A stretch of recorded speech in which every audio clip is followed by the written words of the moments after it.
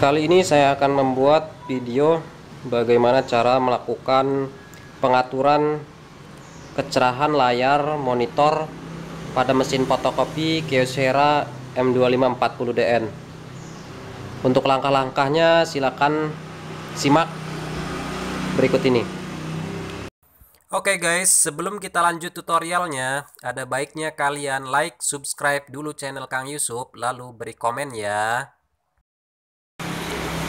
Untuk pengaturan eh, keseluruhannya ya, untuk mesin fotokopi Kyocera ini terletak di bagian menu. Sistem menu atau counter ya. Jadi teman-teman bisa klik bagian ini, maka akan tampil di layar seperti ini. Kita bisa masuk ke bagian ini ya menu kelima common setting. Kita pilih nomor 4 display. Lalu kita gelapkan atau kita terangkan. Kalau kita gelapkan pilih yang ini ya nomor satu. Atau jika kurang terang kita pilih nomor 7 6 dan seterusnya. Jadi ini fungsinya untuk mencerahkan atau menggelapkan. Untuk lighter ini ini adalah mencerahkan. Jadi kalau pengen cerah kita pilih lighter. Di sini sampai lighter plus 3 sedangkan untuk bagian gelapnya itu sampai darker min 3 jadi silakan disesuaikan. Kalau saya di sini posisinya normal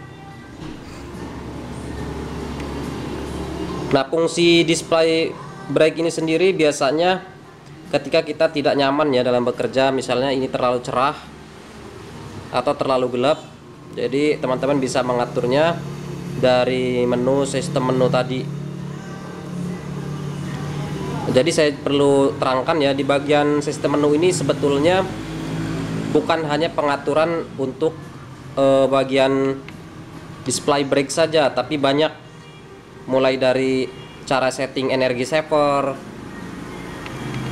cara setting kecerahan hasil fotokopi dan masih banyak lagi.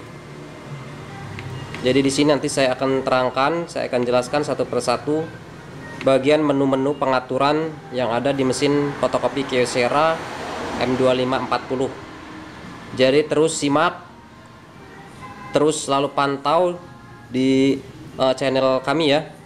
Jadi untuk teman-teman yang baru gabung silahkan klik tombol subscribe. Nanti kakak nanti kita akan selalu uh, buat tutorial-tutorial berikutnya.